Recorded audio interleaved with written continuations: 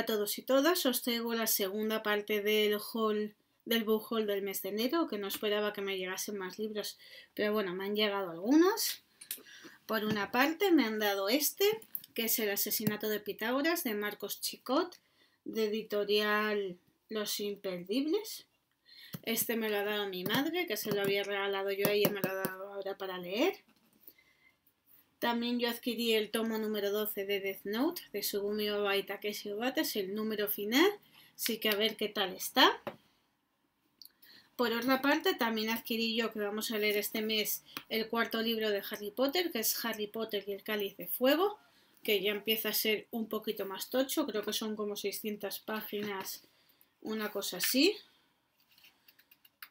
A ver si lo consigo ver, 635 páginas, ya empieza a ser considerable y es el que vamos a leer ahora en el mes de febrero. Y por otra parte, con un intercambio, conseguí el número 2 de Crónicas Vampíricas de Anne que es el de Destater Vampiro, y conseguí también el número 5 de esa misma colección, que es Menos el Diablo, también de Anne Rice.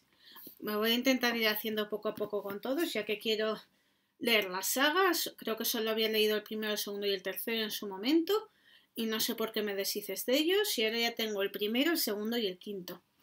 Y bueno, hasta aquí esta segunda parte del Bujol. Como siempre espero que os haya gustado, que le deis a me gusta, suscribáis a mi canal y lo compartáis en todas vuestras redes sociales y muchísimas gracias por estar ahí.